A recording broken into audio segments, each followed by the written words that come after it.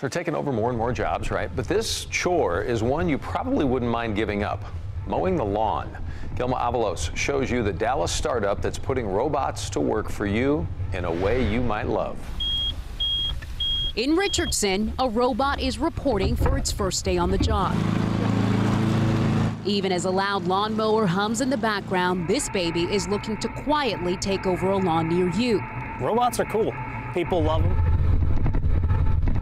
Dallas lawn care startup Robin has installed 50 of these in the DFW area and plans to roll out 50 to 100 more every month. You're paying us just like you would pay any other landscaper, and we're fulfilling a service. It just happens to be delivered by these robots. The machines work like a Roomba, minding this wire fence. When the robot's approaching your flower beds or the street, it knows that it's coming close to its wire, so it's not actually going to run into the street. It means you can kick back and let a robot do the work for you. The technology is huge in Europe, but slow to catch on in America. Robin co-founder Justin Crandall says more fenced-in backyards are one barrier. So we invented and patented a door that allows the mower to go between the yards, but also locks to keep your pets inside. You're going to press the start button.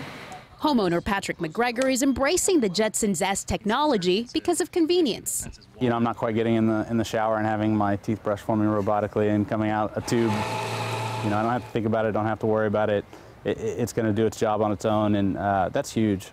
With a toddler at home, he won't be missing the noise and says he likes the price.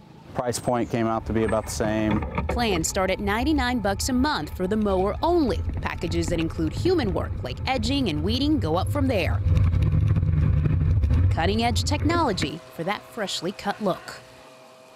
Don't let that thing get a hold of the Roomba, though, because then you got a fight going on. Uh, during the pilot phase, by the way, these robots attracted so much attention. A couple of them were stolen, we're told. GPS technology and stickers warning thieves they will be prosecuted have apparently curbed that problem. The machines are pin protected, and they're useless, actually. If somebody steals it, takes it away from the yard where they're installed. So they've kind of protected that end. Yeah, sort of like the Find My iPhone thing. Yeah.